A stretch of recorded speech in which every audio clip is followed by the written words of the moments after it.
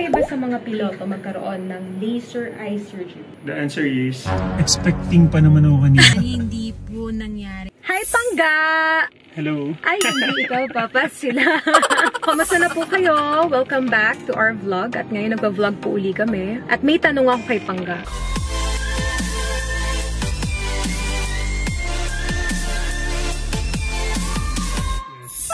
Bakit pasalamin ka pa? Malabo mata ko eh. Gusto gusto niya na kasi makita ang kagandahan ko. Malabo eh. Labo ba? Hindi ako sure kung nakikita niya ba talaga eh.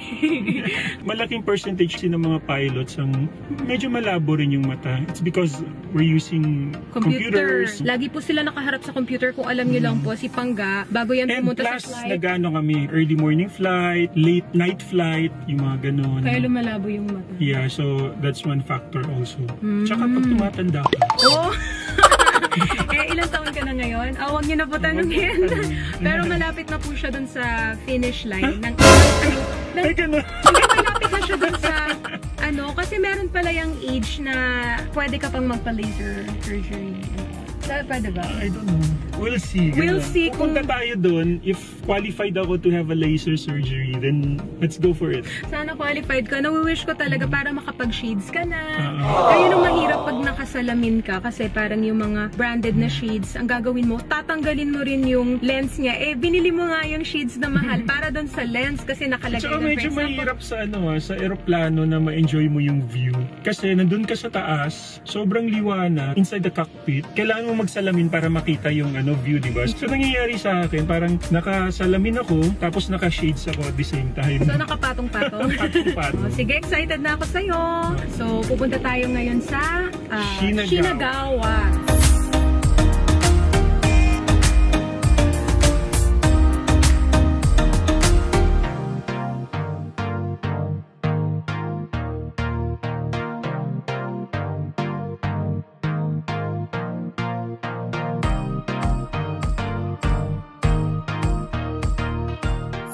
Excited ka na ba? Nandito kami ngayon sa Shinagawa LASIK and Aesthetics. Ayan. There. Very cool. So, ito yung clinic nila. And, ay, siya na pala. Ikaw na pala. Okay, let's go. So my name is Dr. Andrew, by the way. So ako po yung screen sa ICU ngayon, no? Okay, let's start with the full basic screening. Ang ginagawa ng machine na to is check yung eye pressure nila. So later, may magpapuff na air sa mata nyo. Nakakagulat siya, pero hindi siya masakit. Three times per eye po. Okay? Last one. Perfect. So, ayan, yung first step pa lang ni Pangga. Para makuha yung ano mo, grade ng mata mo. And then yung isa is for the eye pressure. Diba lang yung bola, may pressure siya. Yes. So yung eyes natin, kailangan makita kung ano yung eye pressure. Kung high yung pressure nyo, Hmm. ibig sabihin, minsan emergency case siya. Mm. Ah, alright. So, glaucoma, may mga underlying na ano, medical conditions. Ah, oh, Alam so nyo na. kailangan makuha yung pressure mismo ng eye mo. Oh, yun pala yun. Mhm.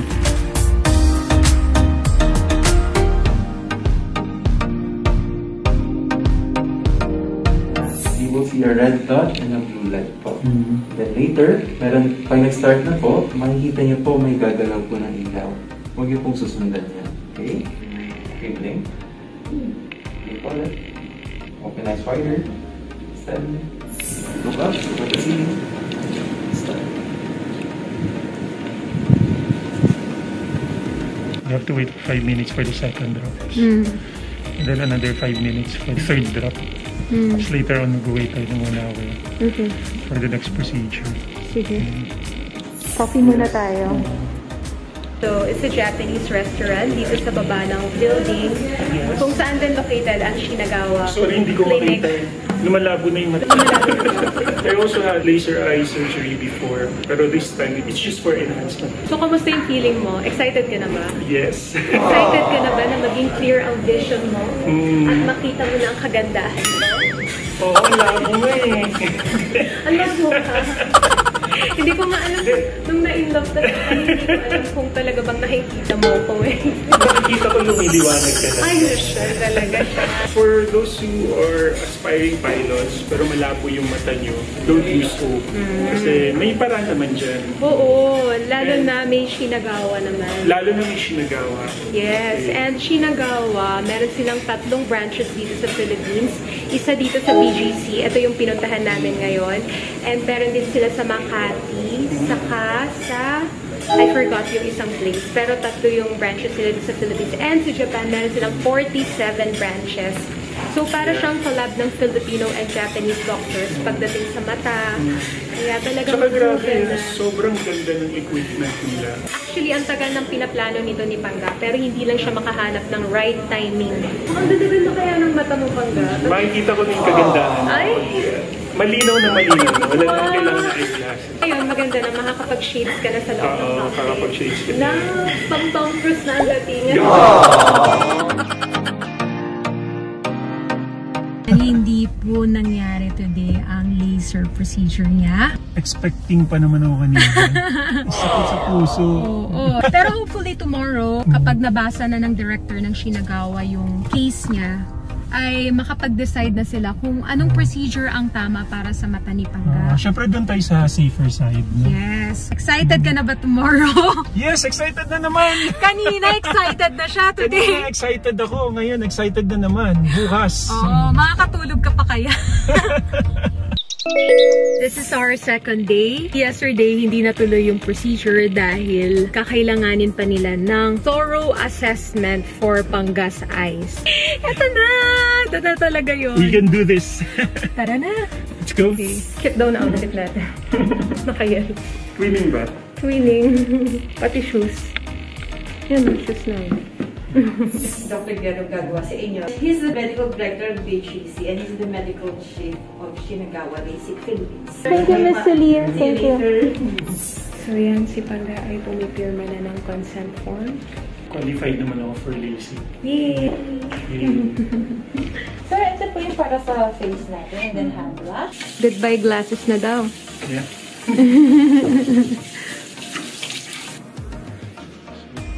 Yun ako. Hi!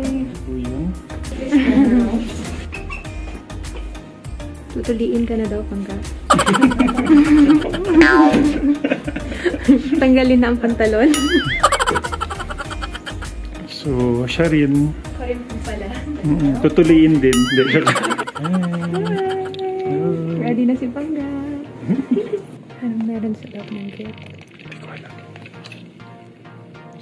Guess yan yung mga post-op mo. Yung mga gagamitan mo after. Pa-wipe na. Huwag ka umiyak. Kaya mo yan. Naluluha po si Pangga. Huwag mo ko iwan. Huwag mo maliwan.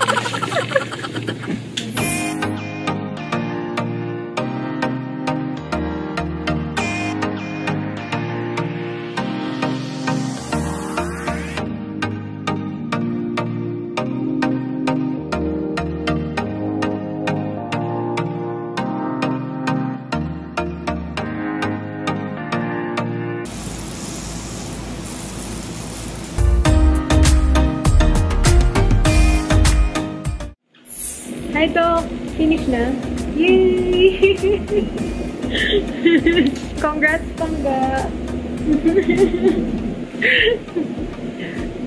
Congratulations. Thank you. Oh, hi guys! Nandito na kami ngayon sa car. Congratulations, Pangga! Thank you. Ayan, sobrang happy ako for you. Thank you so much. As in. As in talaga. Kamusta yung feeling?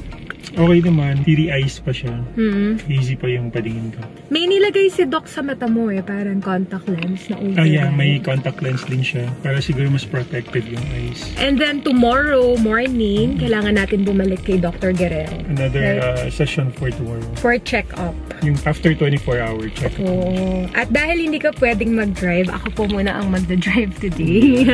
Nagsasakyan ni Pangga. Na ako. Trust mo ba ako mag-drive? Bahala ka na. Iuuwi kita na maayos. Ayusin ko po. Yes, Captain! Drive safely. Opo. So, nakauwi na kami sa bahay. Kamusta ang driving ko, Pangga? Okay naman. Talaga? Mm, ang galing mo. Talaga? Yes. galing mo mag-brakes. Grabe siya.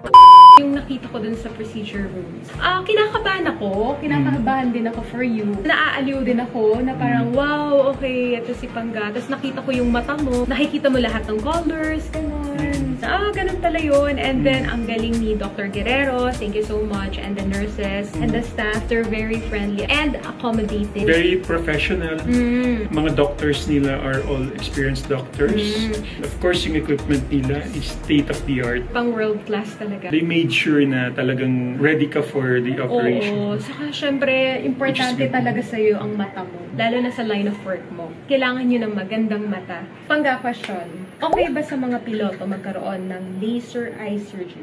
LASIK or enhancement sa eyes? The answer is yes. Oh. In my case. Okay. Okay. So, depende yun sa regulation ng company nyo Mm, and depende rin yun sa regulation ng country. okay. But in most of the airlines, I guess it's okay. Even sa US, di ba, yung US Air Force Okay. nila, parang they even offer it for free sa mga... Talaga? Oo. Wow. I'm not sure for if para sa mga piloto yun, pero narinig ko nga, they do offer it Wow. sa mga officers nila. Ayan lang, ganun lang ka-easy. Ayan na, nagawa na yung mata mo. Yes. I'm so happy for you. Congratulations. Thank you so much.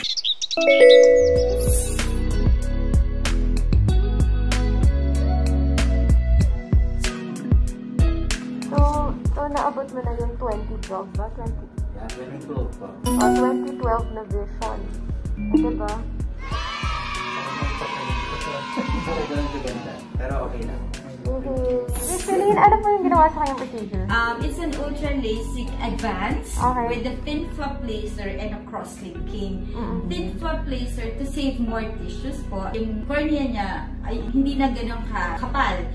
That's why we need to have the thin flap. At the same time, the cross-linking to strengthen the cornea because Oh. it's enhancement na po. Ah, Nandito kami Hello. ngayon sa Shinagawa ulit. It's for One week post-surgery consultation.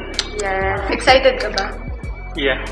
Sure, we'll see po after a month. Ngayon po medyo fluctuating pa siya since first week pa lang. Pero overall, vision-wise, totally okay tayo. naman siya. Yes po. Like, you can attain po 2010 for. Um, laki na improvement ng vision ko. Sharper pa Sharper yung, pa yung sharper vision yung vision ko compared to normal. Pero may problem pa konti sa focusing. So, sabi Mm. naman nila, mag- ano pa yun, improve pa yun because of the dryness pa ng mata. Depende yata per person yung pag-heal. Diba? Mm, Depends, syempre, depends on the person, yung recovery. True. Ayun si Doc. Say Ayun si hi. Doc. Hi, Doc. Doc Guerrero. Thank you, Doc. Bye-bye po. Bye-bye, glasses. Hello, shades. Hello, Pogi. Uy, grabe. so, as you can see, dito kami sa likod ng isang giant Christmas, tree.